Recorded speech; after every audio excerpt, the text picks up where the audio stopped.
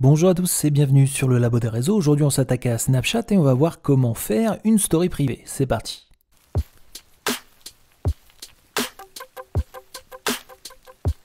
Pour faire une story privée sur Snapchat, très simple, vous allez vous rendre sur votre profil en haut à gauche et une fois que vous êtes sur celui-ci, vous n'aurez plus qu'à aller à droite du bouton Story pour créer une story privée. Le but de la story privée, c'est justement de créer une story en sélectionnant des amis en particulier. Donc vous n'aurez plus qu'à sélectionner parmi votre liste d'amis qui pourra voir cette story privée. Une fois que vous avez sélectionné l'ensemble des amis, vous allez faire créer une story. Puis on va vous demander de nommer celle-ci. Ensuite, vous allez pouvoir enregistrer. Et vous voyez, elle vient d'apparaître juste ici. Maintenant, c'est simple. À chaque fois que vous voulez faire un snap pour enregistrer une story, il suffit de faire celle-ci. Et quand vous allez faire envoyer à, vous allez avoir la possibilité de partager directement sur votre story privée en la sélectionnant. Et vous voyez, elle a été ajoutée à votre story.